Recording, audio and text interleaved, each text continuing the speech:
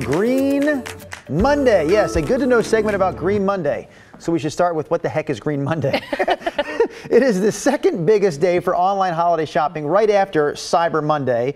So Ashley, look at this. Dressed in green this morning to tell us that? more. Yeah, it's I didn't. planning. It worked out perfectly. I guess I was meant to do this story. Okay, let me tell you this. It is called Green Monday because it's typically the most profitable shopping day in December. It always falls on the second Monday of December as well. eBay started it about a decade ago, and now a lot of other stores like Walmart, Target, and Amazon, they do it too. So here are just some of the deals we found already this morning.